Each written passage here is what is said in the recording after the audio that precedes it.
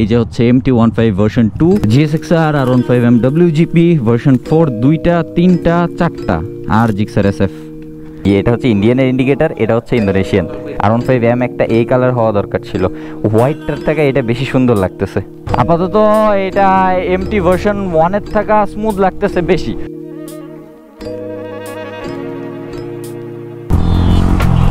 Hello guys welcome to another brand new blog আশা করি সবাই ভালো আছেন। এখন আমি যাচ্ছি হচ্ছে বিএসবি মার্টের দিকে। ওখান থেকে একটা বাইক নিয়ে রিভিউ করার জন্য। আর বাইক কোনটা সেটা ওখানে গিয়ে দেখাচ্ছি। আর বিএসবি মার্টে গেলে পরে ওইখানকার কিছু ইউজড বাইক আপনাদেরকে দেখাবো। কিছু প্রি ওন বাইকের প্রাইস সম্পর্কে আইডিয়া দিব আপনাদেরকে।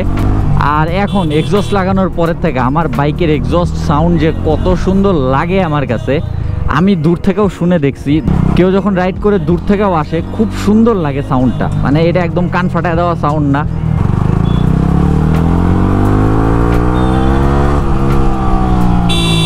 অনেক মিষ্টি লাগে সাউন্ড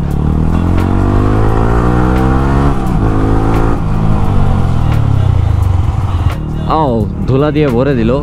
তো এখন চলুন যাই বিএসবি মাঠে, আর তারপর ওখানে আপনাদেরকে কিছু বাইক দেখাই।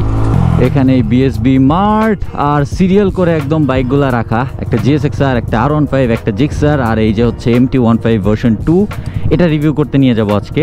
বাকি বাইকগুলা ভিতরে রাখা।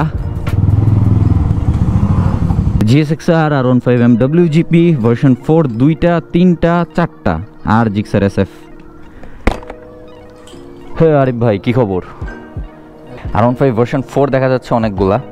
একটা দুইটা এটা এম এটা version four version four version four version four এগুলোর প্রাইস কীরকম? এটা ইন্ডিয়ানটা হ্যাঁ।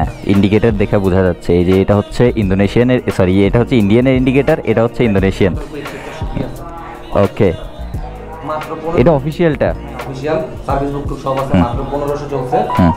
এবং দুই বছরের নাম্বার আচ্ছা আমার কাছে এই এডিশনটা খুব সুন্দর লাগতেছে। এটার কালারটা খুব সুন্দর।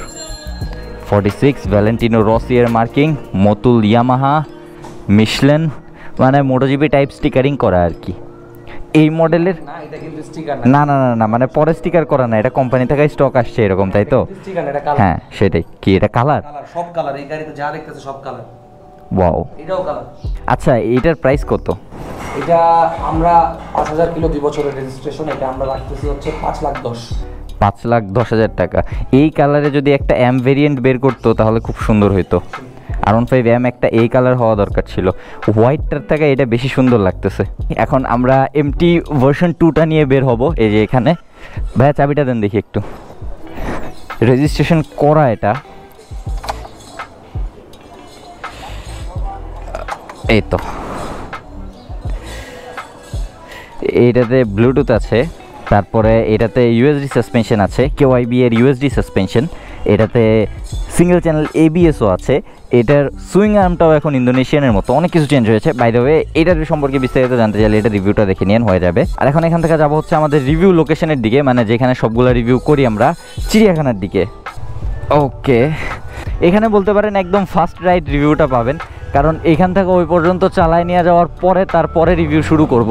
আপাতত এটা এমটি ভার্সন ওয়ানের থাকা স্মুথ লাগতেছে বেশি। সামনে ভার্সন ওয়ানও আছে, তো একটা কম্প্যারিজন ভিডিও করব আজকেই। হো একটা এক্সপেক্ট অফরোড বাইকের প্রতি না আমার একটা ফ্যাসিনেশন আছে। আর এদিক দিয়ে সোজা গেলে হচ্ছে আমাদের সেই লোকেশন চিড়িয়াখানা।